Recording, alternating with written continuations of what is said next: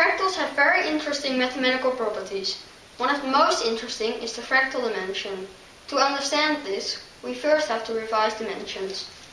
A point is zero-dimensional, a line is one-dimensional, a plane is two-dimensional, and a body is three-dimensional.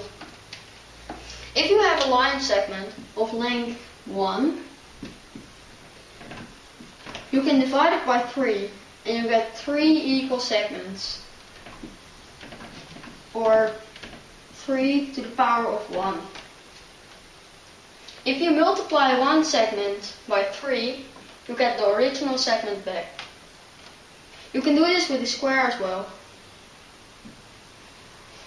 You divide both sides by 3,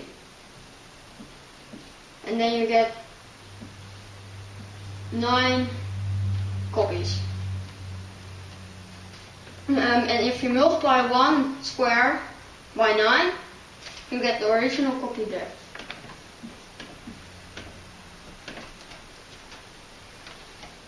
You can do this with a cube as well. And then you get 27 or 3 to the power of 3 um, cubes. So this is called self-similarity. And you can summarize this in a table. You can see that the exponent is also a dimension. So we can say that the number of copies, n, is equal to 3 to the power of d, where d is the dimension. Uh, with logarithms, we can get the d on its own. So d is equal to log of 3 n or d is equal to log of n divided by the log of 3. Now let's see how this works with fractals. I will show you an example. It is called the Cantor set. Imagine a line of length 1. You take out middle third and you get 0 to 1 third, 2 thirds to 1. You take out the middle third of the remaining thirds, you get 0 to 1 9, 2 9 to 1 third and keep doing this infinitely. What happens is that you see the pieces keep getting smaller and smaller. And if you keep doing this infinitely, the total length removed becomes equal to 1. But still, all the points are there. But there is an infinite amount of them. The dimension of the Cantor set is not zero, because an infinite amount of points form a line. But all the points are disconnected, and the length is zero. How can this be? It means that the dimension of the Cantor set is somewhere between 0 and 1. This is a fractal dimension. How do we calculate this? If you look at the table, we know that n is equal to 3 to the power of d. Let's look at the line segments.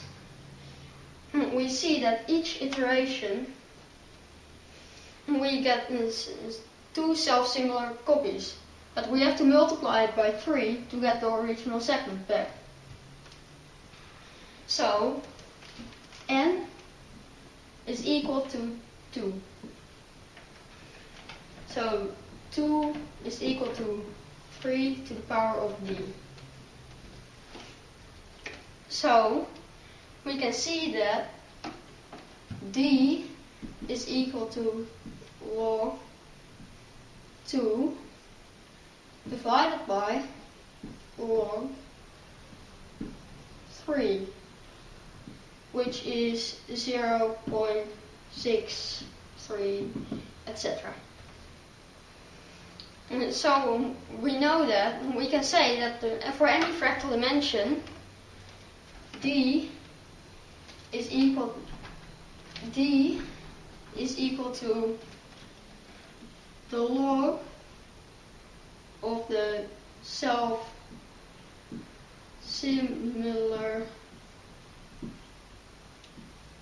copies divided by the log of the multiplication factor.